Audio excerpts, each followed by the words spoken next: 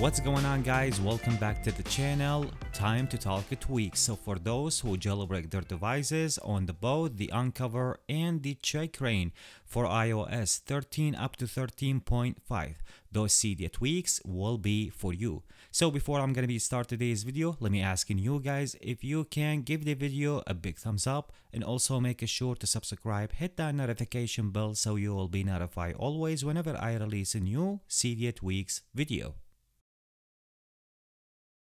Alright, so let's go ahead right now to talking about the first one. Number one on my list will be Springtomize 5. If you already familiar, you know what I'm talking about. This is the whole system UI. You can change different kind of things. You can go through a lot of details and things with that tweak. You can change every single thing in your jailbroken device. If you want to use the Springtomize, you will be able to do every single thing, starting from animation, app switcher, control, or the CC, the DAC, the folders, the icon, the icon or the uh, lock screen, the uh, notification, pages, status bar, and every single thing as I told you guys. This is one of the tweak which is I already like from a long time ago. I jailbreak my device. I looking for the spring to Springtomize because with that tweak, as I told you guys at the beginning, you can change different kind of things with this one. So I highly recommend you guys to download this one. And once again, this one will be called the spring to Springtomize 5 let's jump right now to talking about the second one. If you guys take a look what i have on my status bar there is icons. This is a notification and this is another Cydia tweak that i have for you guys. This is a new one works with only ios 13 so the name for this one, MooreBar X13. This is will be bring those kind of icons will be set those in your status bar. And then you can configure most of the settings from under the settings. Right now we navigate to the settings. First of all, go ahead, enable the tweak, all the adjustment. I highly recommend you guys to leave it. The only thing that I do here is just hide here, the status bar hide. So if you bring that little bit to the bottom so you can keep all the icons at the top.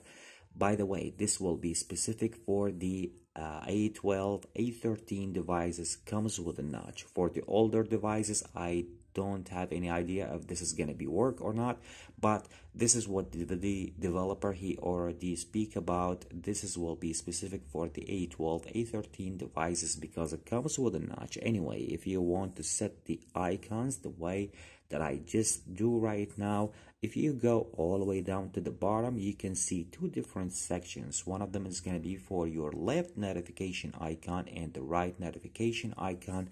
If you tap on it it will be provide you with like five to six icon in each single uh, side which is the right and left so you can pick the icon that you're looking for. For example if you come right now to icon type here the application and in the application just go ahead and tap on it. You can pick the application from there and you will set that for example on the left icon section. If you want to do the same thing with the right section you can do just the same method that I show you guys. Once you're done you need to make sure to reset your device so your device will be take the effect. And this is the way how I set my icon with that week in my status bar. Once again this one will be called the more bar x13 another Cydia tweak that I want to uh, talking with you guys about it which will be the ShyLabels 13 this is for your labels in your springboard so whenever you want to switch between the pages the labels will be disappeared. So if you want to switch between your pages the labels will be goes and disappeared and then you can adjust that from in here. So you can adjust that starting from one second up to